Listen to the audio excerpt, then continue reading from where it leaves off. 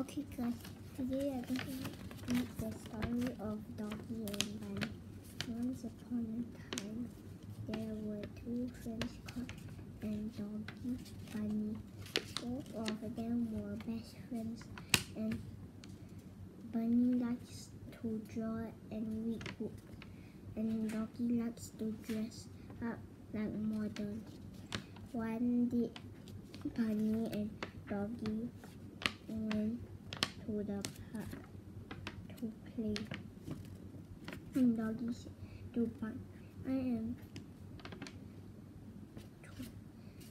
Bunny, I am going to somewhere something good for me here. And doggy laughed. Wow. But Bunny forgot what doggy said. So she walked into somewhere doggy caught when bunny bunny keep walking and walking and walking.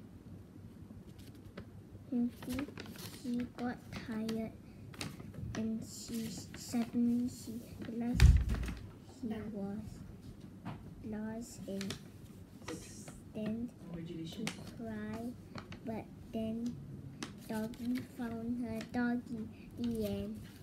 Goodbye.